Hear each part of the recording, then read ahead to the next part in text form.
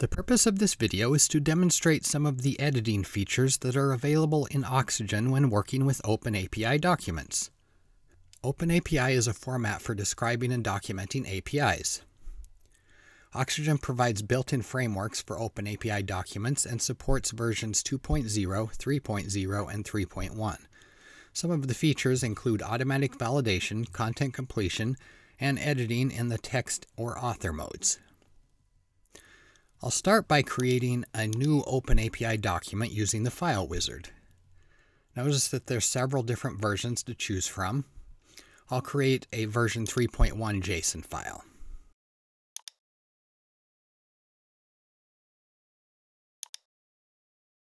Oxygen automatically recognizes OpenAPI documents and validates them according to the specification for the particular version you can see that my template file was successfully validated against an OpenAPI 3.1 schema.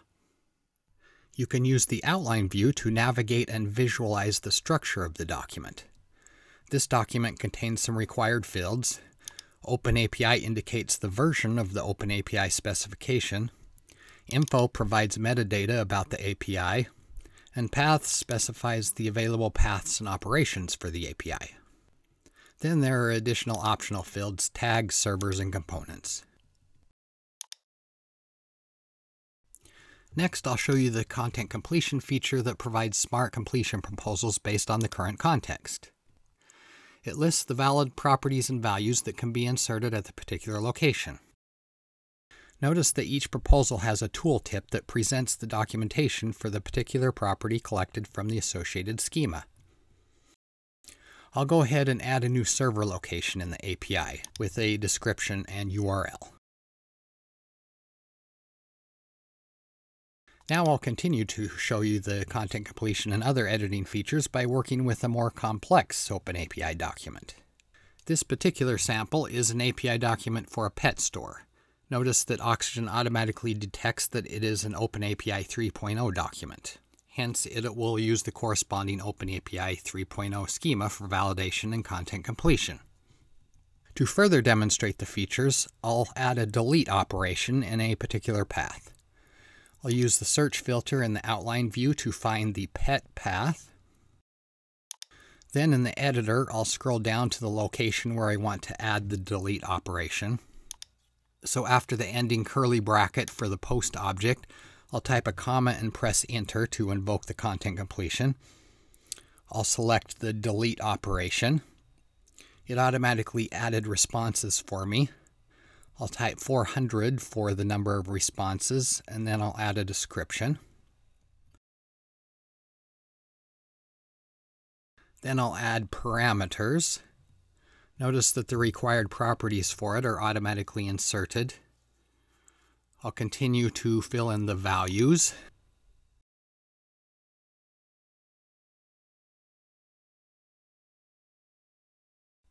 Then I'll specify the schema for the parameters and the type and complete the structure. Next, I'll find a reference within the document. This is because I want to show you that I can hold down the Control key on my keyboard and click the reference with my mouse to navigate to the reference location. I'll do it again and note that this one was a reference to a separate schema file which is automatically opened in Oxygen Specialized Design mode. Here you can work with the schema in a visual diagram type of mode that makes it very easy to visualize and edit the schema.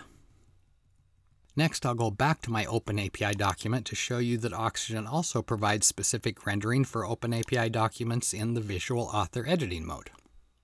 This mode offers an alternative to the text-based editing mode, making it easier to visualize the OpenAPI documentation. It offers access to some form controls such as a drop-down for selecting the version. Of course, I can add content in appropriate locations.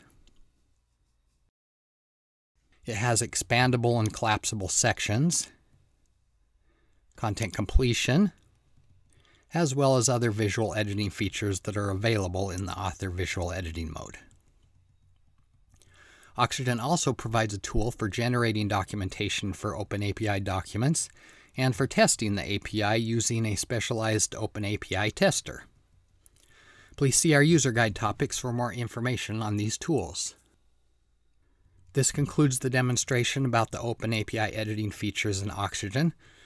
As always, thank you for watching, and we invite you to please subscribe to our various social media channels.